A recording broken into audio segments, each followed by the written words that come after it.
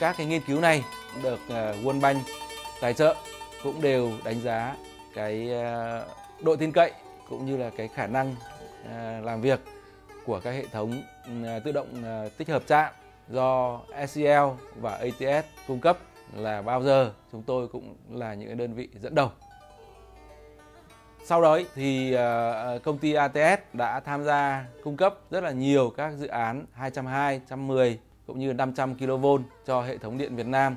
Hiện tại chúng tôi có cỡ khoảng trên 30 trạm à, đang vận hành cái hệ thống này. ATS just modernized a 500 kV substation for EVN near Ho Chi Minh City. The substation have four 500 kV feeder and 10 220 kV feeder. Traditionally, for a substation of this size, it required 280,000 meter of copper conductors. But with modernization, they was able to reduce to using only 56,000 meter of copper conductor. And all the other information travel over 5,000 meter of fiber optic cable. This translates to about 80% of reduction of copper conductor.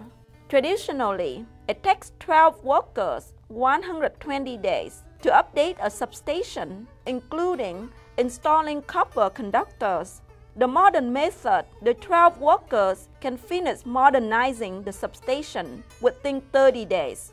This represents a 75% reduction in installation time and 77% reduction in installation labor expense. The cost of installation dropped from 69,000 US to 16,000 US. And the cost of material dropped from 571,000 US to 129,000 US. That represents a dramatic 77% reduction in material costs.